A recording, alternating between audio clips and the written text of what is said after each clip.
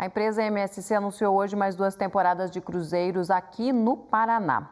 Vamos tentar de novo conversar com a Giovana Palaoro, que está lá no litoral. Gia, a conexão tá ruim, o tempo tá meio estranho hoje, já choveu, já parou. Tem atividade aí do verão maior atrás de você? São diversas atividades. Aqui atrás de mim está tendo campeonato de beach tênis, mas lá no fundo tem também a garotada jogando bola, batendo uma bolinha num beach tênis. São diversas atividades esportivas. Mas para quem prestou mais atenção, bem atrás aqui da gente tem também um grande palco. E quem está lá e comanda a animação aqui na praia neste momento é a banda As Brejeiras.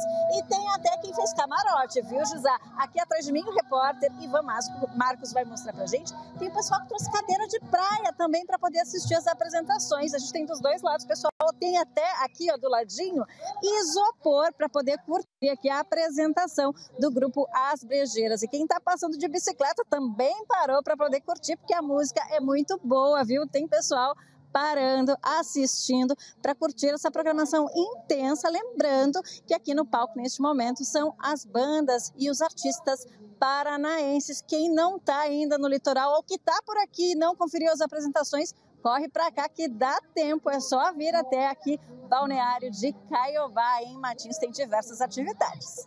Que bacana, Gi. Legal as pessoas ali curtindo, né? Levando a cadeira de praia, muito legal. E é por isso que tanta gente está vindo também para o nosso litoral. Tanto é que os cruzeiros ainda vão ter mais duas temporadas. A MSC, inclusive, já está vendendo pacote, aí tem até 2026, é isso?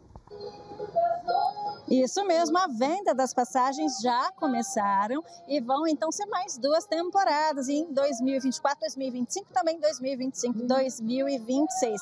São 17 paradas aqui no litoral paranaense em Paranaguá é, em 2025. Então a temporada começa em 13 de dezembro e vai até 28 de março e 2025, 2026 começa em 5 de dezembro e vai até 27 de março. E a gente vai falar mais sobre esse assunto com a gerente aqui de eventos da Viagem Paraná, Patrícia Gusso, que está aqui comigo. Patrícia, a gente tem mais uma parada da temporada 2023-2024 nesse fim de semana e certo. Eu gostado muito das atividades, as ações